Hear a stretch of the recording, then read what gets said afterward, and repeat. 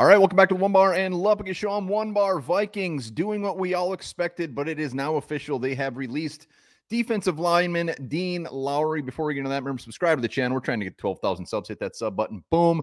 We'll be back live later talking anything Vikings free agency. Cannot wait. Uh, so yeah, we knew this was coming.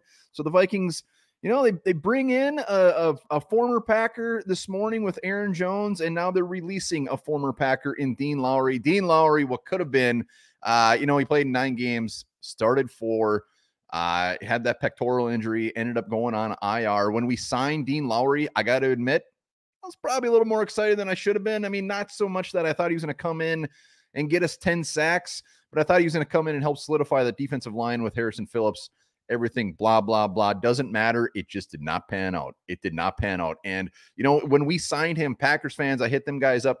I mean, they said, you know, you're getting a you're getting a pretty good defensive lineman. You're getting a solid starter. He's not going to wow you by any means, but he will do just fine. I think they were messing with me. Dean Lowry did not do fine. I wish him the best. I hope he signs somewhere.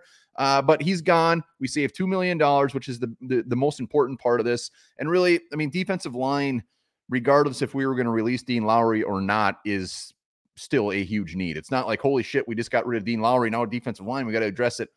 It was a need, anyways. Dean Lowry wasn't going to start. Dean Lowry, we all know, wasn't going to be back. So this doesn't really change anything except for the fact we now have $2 million to spend. The other side of that is we th- this might not be the only guy we release today. I mean, we still got to make decisions on Harrison Smith, Garrett Bradbury. It appears he's coming back, but there's guys like that that they still need to figure out before tomorrow. So Dean Lowry could just be the first one. We've seen a lot, the Vikings sign a lot of new players. Maybe today is the day that we get rid of some familiar faces on this squad. So uh, let me know. Dean Lowry, Gonzo, two million bucks in our pocket.